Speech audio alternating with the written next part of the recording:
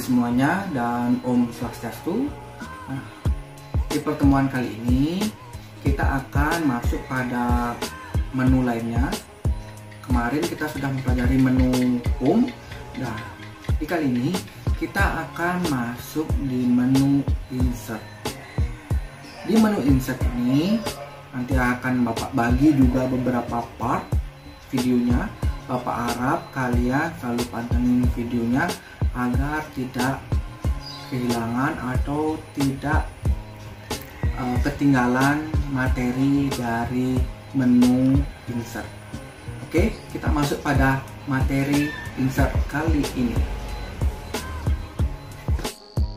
Nah, di insert kita akan membahas tentang page, ada uh, tables, ada illustration, ada ini media, links, comment, header font, teks, dan simbol. Oke, kita sekarang masuk pada bagian page. Page ini yang sering digunakan yaitu satu saja, yaitu blank page.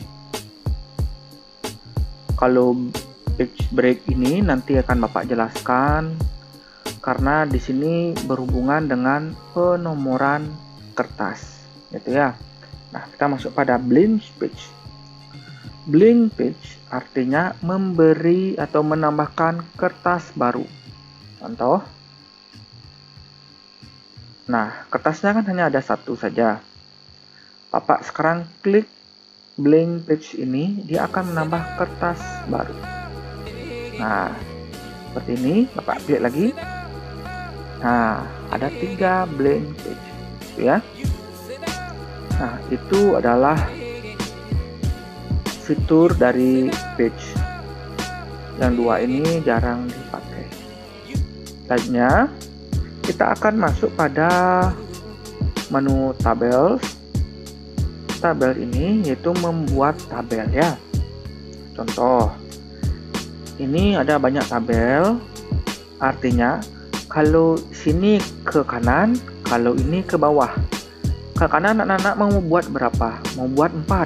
Misalnya dari 4, 2, 3, 4 atau 5, 5 atau 6. Nah, tinggal tambahin aja. Atau 7. Nah, tinggal tambahin ya. Misalnya 5. Ke bawahnya anak-anak mau membuat 3 misalnya. Atau 4 atau 5. Ya, 5 saja ya. Biar sama kiri kanan sama. Nah, tinggal klik Nah, 1 2 3 4 5. 1 2 3 4 5 ya. Nah, di sini anak-anak boleh memberi nama setiap kolom ya. Misalnya di sini nomor. No. Nomor.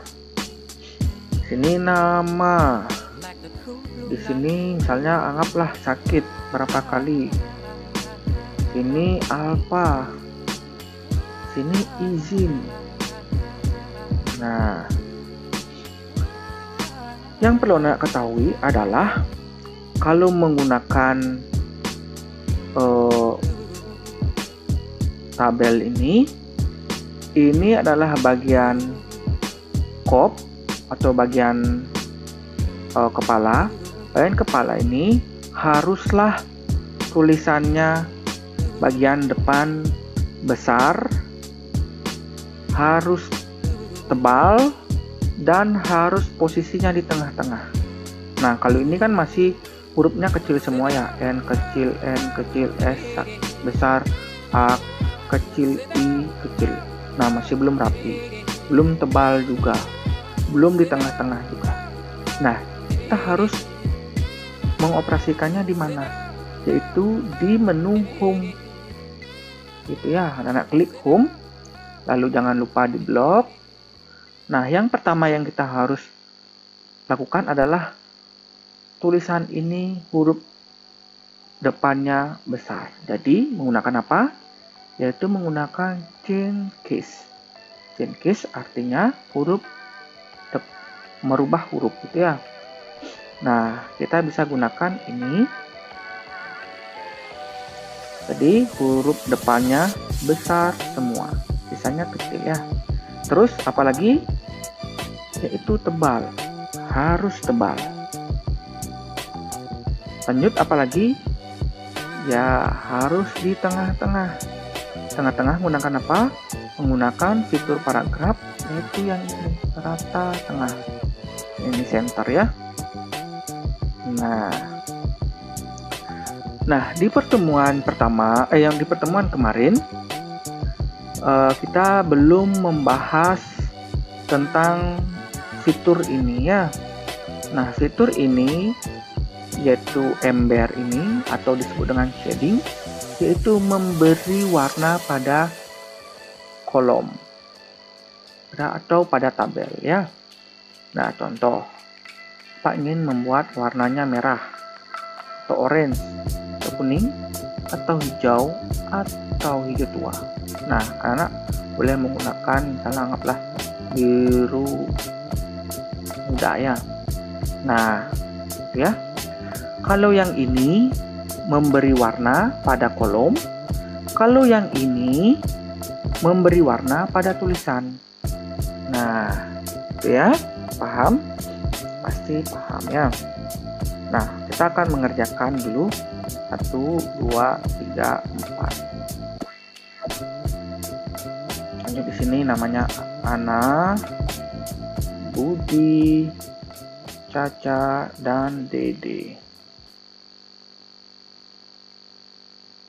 Ini sakit, anggaplah belum pernah sakit ya.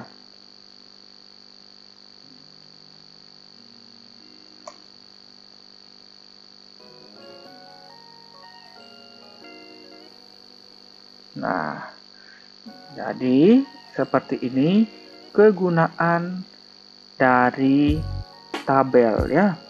Jadi kalau anak-anak ingin membuat tabel besok, anak boleh menggunakan ini. Gitu ya. Dan ingat, kalau membuat kepala tabel harus apa?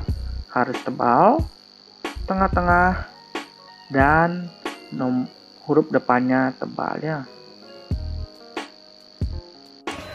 Nah, tadi itu adalah fitur pada bagian page dan pada bagian tables. Nah, selanjutnya di pertemuan berikutnya kita akan masuk pada fitur uh, ilustrasi dan fitur-fitur lainnya pada menu insert. Nah, di video kali ini kita cukup sekian dan kita akan masuk pada diskusi pada grup. Oke, Nana? Bye-bye.